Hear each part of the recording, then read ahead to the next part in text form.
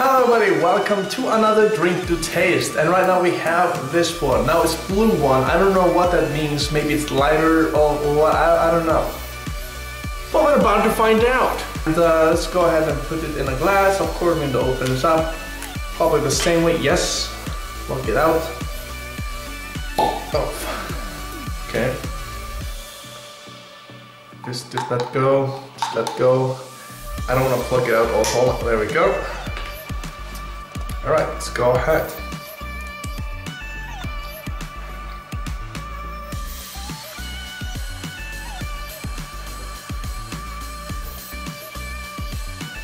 Well, I can't see if it's better than the last one or not right now, but when I'll start figuring out, out who is better, then I'll probably find out. But this one's really good though. I really enjoyed that one as well.